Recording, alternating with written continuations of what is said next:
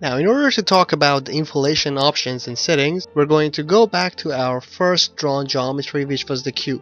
Because we cannot create automatic inflation option for geometries which have mapped or quadrilaterals mesh, we have to first change the mesh created over this geometry to tetrahedrons. To do that, just right click on mesh, go over insert and then select methods. After clicking on that command, on the lower left side of the software window, in front of the geometry, we have to select the geometry of our cube. Then in front of the method, select tetrahedrons and simply click on generate button, so that unstructured mesh is created over our geometry.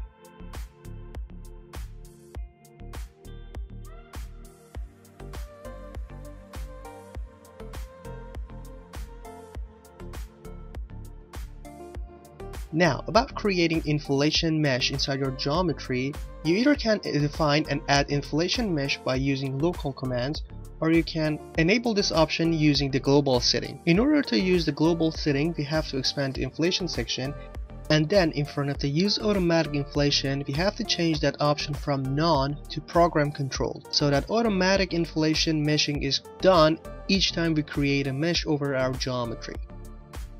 Now after changing the automatic inflation from none to program controlled, under the inflation option you can select between different choices. We're going to select each one to see how they can help us create inflation mesh over our geometry.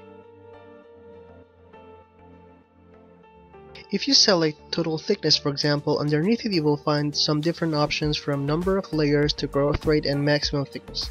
The number of layers, as its name says, is the maximum number of layers of inflation layers that you want to generate inside your geometry.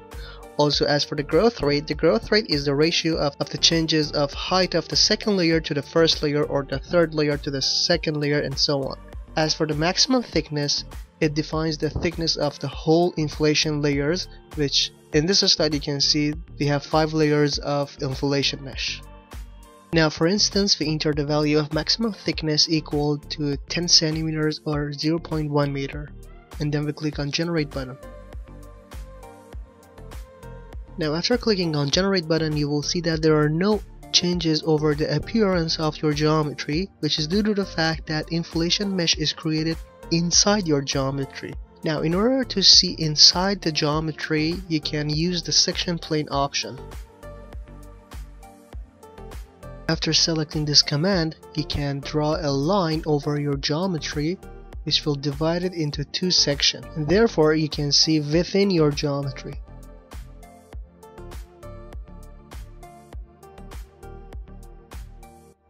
As you can see here, the inflation mesh has been generated inside your geometry and it has 5 layers with a total thickness of 10 centimeters.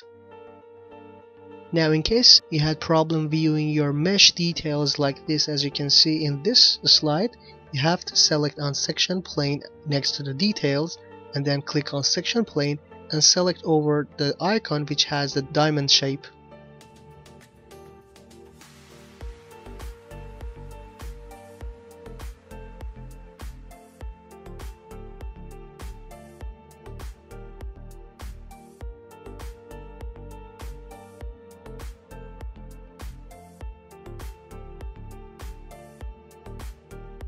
Now the next option is the first layer thickness where you have to define the thickness of the first layer of your inflation mesh.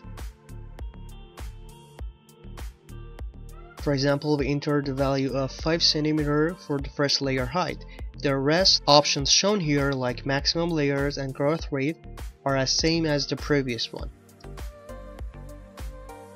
However, we can change, for example, the maximum layer from 5 to 7 and see its effect. We also changed the value for growth rate shown here from 1.2 to 1.5 and then simply click on generate button. Now as you can see here, 7 layer of inflation mesh has been created with a growth rate of 1.5. Also you have defined the first layer thickness equal to 5 centimeter.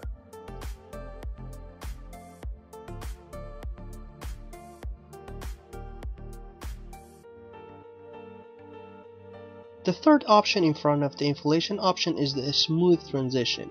This option is selected by default and when you select it, you have to enter the values for growth rate and maximum layers.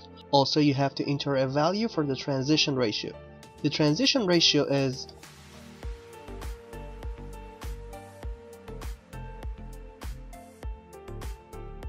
is the ratio of the height of the last tetrahedral mesh after the inflation mesh to the height of the last layer of inflation mesh inside the inflation layer.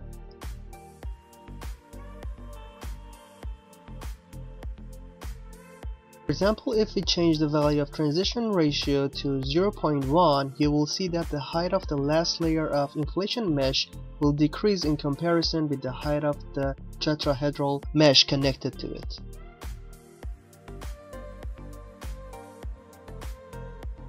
The other option is the first aspect ratio where you have to define the ratio of the length of the first layer inflation mesh to its height.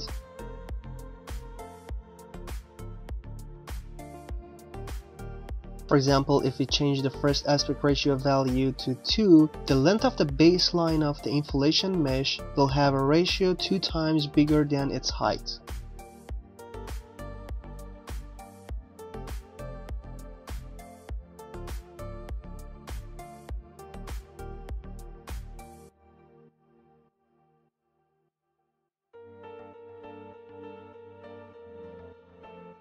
Or for example, if we change it to 8, you will see the difference between the state where we have defined the first aspect ratio value to 2 and the state where we have defined its value to 8.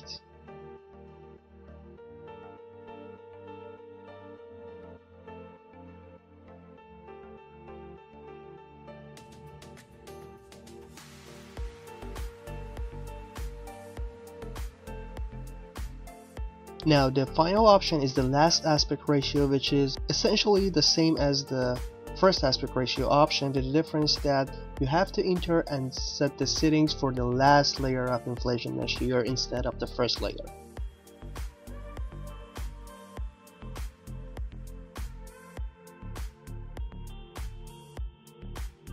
Uh, there is also another difference with the first aspect ratio option which is that you have to enter the value for first layer height instead of growth rate. You can see here that we have entered the value of 5 centimeter and we are going to change the value of aspect ratio to see its effect on the inflation mesh. For example, if we enter the value of aspect ratio equal to 1, we want the last layer inflation mesh to have equal value for its base and its height. However, when you click on generate button and then the mesh is generated, you can see that the quality of the generated mesh for the inflation layer is not in such good a state when you define the aspect ratio equal to 1. Therefore, we're going to change this value to obtain a better mesh with a higher quality. For example, when you set the value of aspect ratio for the last layer of inflation mesh equal to 7, you can see that a better mesh with higher quality is generated, and the ratio of the base of the last layer of inflation mesh to its height is equal to 7.